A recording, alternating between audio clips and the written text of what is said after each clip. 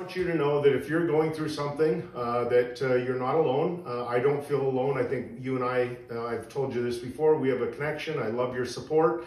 Um, reach out if you need any help. Um, we all are doing the same thing. We're all searching for more good days. So, uh, as always, uh, the Hrudeys are sending our love. I've been looking so forward to this. I've been fangirling about the fact that we're going to have Kelly Hrudey on the show because I'm a big hockey fan, Oilers fan, from Edmonton. He's from Edmonton. Was like the goalie with the blue headband, you know, back in the days, super cool and everything. And I thought, I just like, uh, as a hockey fan, I thought he's amazing. And then I found out everything that he's doing to bring awareness to the fact that a lot of people are struggling with mental health issues, especially at this time of the year. And that he has been struggling because as you said you've watched him play. You've watched him reach the pinnacle yeah. of something that we all fan around. I lived in la when he was playing with the la kings and i had the opportunity to then work with Kelly Hrudey when i was doing seeking stanley the post-game show at the cbc back in 2011 he showed up for me every single game post game. A good like, dude. I love him so right? much. Yes, he's so good. And he has agreed to join us now. Uh, Kelly Hrudey. it is like a great honor to meet you. Thank you so much for coming on the show. Linda and Jody, thank you for the invite. For some reason, I feel so much pressure because you, you've made me now seem like I'm a good guy to other people, which you are. We which know that you, you are. Are. Yes. Hey, can we ask you first of all, because you know a lot of people are shy to talk about mental health and when they're struggling, and especially men really don't like asking for help or mm-hmm. admitting that things aren't going great. So for you, what is your personal story? I mean, how have you struggled? Okay, well, uh, it's kind of a two-part answer, uh, Linda. So the reason why I decided to share my story, and by the way, I always say if you feel like sharing your story, great, and it may find you a new community, which I found on social media. I, I really feel a connection to uh, the people that watch my videos. But if you can't share, that's perfectly fine as well. We have a person that we love dearly in our lives, and they're going through mental health uh, issues, but they don't share, and that's perfectly fine, as I mentioned. Uh, so our my journey starts back in uh, 2005, the summer, uh, when Caitlin, our youngest daughter, was diagnosed with OCD and anxiety and uh, and so Donna and I, my wife, we went on that journey with her, uh, trying to get uh, her help, and uh, that was uh, very, very difficult. Like, you know, and all the people out watching that have gone through that with the love uh, member or love family member, just you know how difficult it is, and uh, the hours upon hours that you put in work and just trying to get your your the help for the loved one, but so when Caitlin decided, well, after four years, she came to Dawn and I and said, "Hey, mom." Uh, four years of extensive therapy, she said, Mom, Dad, I'm having more good days than bad. So, what a profound statement for somebody at 16 years old, right? Mm-hmm. And so, when in 2013, when she decided to share her story publicly, I thought, oh my gosh, this is the bravest person on the planet. And she was. And I still think that to this day. And uh, so, but I was really worried about social media and all the bashers and the haters and so on. And much to my surprise, she only felt love and support. And so then when I was writing my book in 2017, I, I was writing about a whole bunch of different topics. But the very last day of writing, uh, I was at the author's uh, uh, house, Kirstie McLellan Day, whom you guys probably know. She's a lovely lady, mm-hmm. a great author. And, and I was walking out the door and I thought, you know what? If I'm going to share all these stories in the book, I'm missing, I'm leaving out the most important story. And that was when I didn't even recognize it at the time. In 1992, 93, I was having mental health issues. Um, and so I shared that. That happened to be the last chapter in the book. And I met Donna and Caitlin for dinner that night at a restaurant by our house. And I shared the transcript from that uh, chapter. And uh, they were surprised to read it in there, and they were also surprised to know that I was sharing that. Because for me, I knew I was going through something, but I didn't relate it to mental health until all of our work with Caitlin. And then, most recently, well, it's not recent anymore, the summer of 2019, I started having thoughts again, very similar to my thoughts in the summer of 92. And those thoughts were, and I think some people can relate, mine aren't necessarily about life they're about work related. And, and I always have these, what I think are rational thoughts or rational questions like, how much longer can I keep doing this? I've been doing it a long time now. Uh, the end's probably going to come at some point. You know, that's a that's a fact. And but when my thoughts went from those rational thoughts to irrational thoughts, like you're no longer any good, you better be perfect, or you're gonna get fired, or and as you guys know on live television, yeah. trying to be perfect is impossible. So that's why I started sharing my story on social media, and I feel really good about it because I get uh, again like Caitlin, I get love and support, and I get so many beautiful messages. I wish I could share them with everybody. All the beautiful messages that people, uh, you know, brings our community together. It's so heartwarming. Love it. The way you so openly shared in that most recent moment where you said this is you know i'm not okay and it's okay if i'm not okay but i need to go in search of more good days you're wearing the sweatshirt mm-hmm. tell us about that initiative and, and what you hope to share with our audience in terms of um, being a part of your community they're going to find Kelly Hrudey in that community right so this is from that uh, profound statement caitlin had. Her and her husband a few years ago just shortened it to more good days uh, because as i've always mentioned in our videos that's what we're all searching for. Uh, it reminds me of a text. I was texting Ron MacLean a number of years ago about mental health and in only beautiful Ron MacLean fashion the very last text he sent to me that afternoon was uh, inner peace what a quest and so I, I think mm. it ties together, right? We're all searching for inner peace. We're all looking yeah, for more yeah. good days.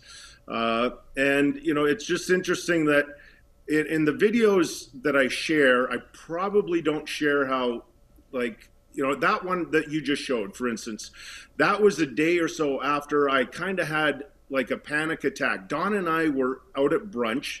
Uh, in early October. I was going to start work, I want to say on October 11th. Uh, and it was our last uh, Sunday together before I was going to start traveling and I knew something was up, and I was having these feelings and thoughts and, and so on. My the loop was going round and round, and we're sitting at breakfast and or brunch, and I just you know I started to tear up. So she knew how to get me out of it, and then I thought, you know what? I, I first of all, then I made an appointment to see the person helping with my mental health again because I need that, uh, and I just feel that uh, for me, there's no shame. I, you know, I, I, think there are a lot of people out there my age. I'm in my early 60s, going through things that we never expected anymore. I just, I didn't think this was uh, going to be a part of my life again, but it is in a big way. And so, you know, I, I have a great support system. I'll give you a little bit more behind the scenes, uh, Linda and Jody. So Saturdays happen to be my worst day for because I get so worked up about uh, Hockey Night in Canada, and in particular the pregame show, which, you know, uh, that one gives me great uh, uh trouble. So most Saturdays, well, not all, most Saturdays uh, at five to six, because uh, we go live at six thirty Eastern time. I call Donna, and she'll she'll gauge how I'm doing and I'll either tell, tell her I'm not doing very well or I'm doing okay. And if I don't say anything really about that, then she knows I'm doing much, much better. Uh, and so that's how my Saturdays go, and that's what uh, you know I deal with. I, I will say I haven't been in for two weeks because I just have a little um, medical thing, but I'm going back tomorrow. Eh, but the last three weeks I was there, I was doing really well on Saturday, so I'm hoping that's what's going to happen this Saturday as well. Uh, crossing fingers for you. You never yep. look stressed out. You look cool as a cucumber when you're, you're the doing the broadcasts. Holy. But you know, you talked a little bit about your coping mechanisms and and reaching out mm-hmm. and what a big kind of player your wife is in all of that. Mm-hmm. With the holidays here, uh, it can be really stressful for a lot of people and, and not fun and festive and it's yeah. triggering. So, do you have any advice for what somebody should do over the holidays when they're starting to feel themselves sinking? Yeah, ask for help or share with uh, the people closest to you. That's my greatest strength. So my kids, everybody, they know we talk about mental health. Uh, Donna, of course, is the biggest uh, thing for me. Uh, and, and, it's interesting how the people close to you can maybe ask the same question as well, like, "How are you doing today?"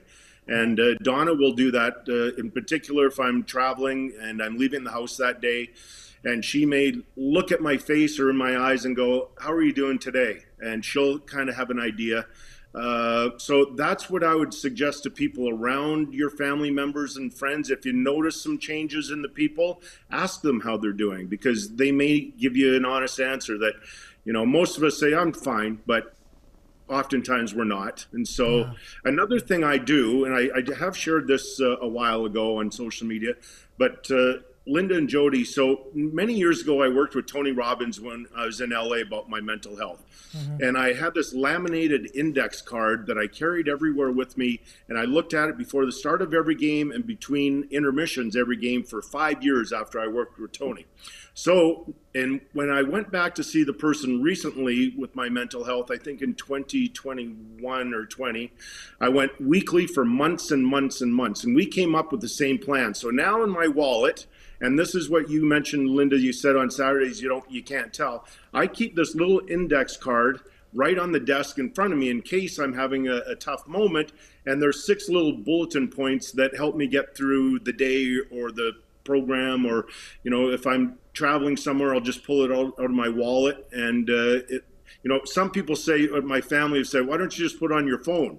but that's not how my brain works. I yeah. like to have something that I can feel in my fingers and look at, and and that gives me way more comfort than I ever expected. Like if you're, I have other people share. Like Caitlin and Hayden have these markets where they share or they sell their More Good Days product, and I've had total st- strangers, and this is again the most heartwarming thing. I had a guy I remember last summer. He came up and opened his wall and showed me his uh, card with his uh, bulletin points or bullet points, and I thought, wow, how brave, how cool is that? That you know he just wanted to share that it really helped him. So that might be something that uh, people can do heading into the holidays to give them a little bit of relief. Is it a personal bullet point list, or can we know what's on? Yeah, I don't card? mind sharing. Okay. I don't mind sharing. Please uh, do. Breathe is the number one for sure. That's for all people with mental health issues. You got to, you know, get that under control. And then there's some things that are definitely related. So be bold and confident. Trust yourself. You know what you're talking about. So those three bullet points definitely tells you how I was struggling, right, with my yeah. own confidence during a show in which I should trust myself. Then there's one thing there that's too complicated to get into. But the last one, the last one I love, I love, I love, and I left it for the last one because seeing the person with my mental health, he shared a line with me that I had never considered before. It was just, you know, work, work, work, never take the time to enjoy. And he said to me, I deserve this success. Yeah. Never thought of it, right? Never yeah. occurred to me. Yeah. And so that just gave me like a full rush. Right? Wow, that is very helpful. Thank you for that. Kelly, before we let you go, yes, um, got this is a big night for Roberto Luongo. Yeah, Ring of Honor. Yeah, the Ring of Honor the tonight at the Canucks in me is like, we got to talk about our Canucks, you Edmonton Tell people. us very quickly, what are your thoughts on Luongo? Well, I, I said it when he was playing for the Canucks when he came over from Florida.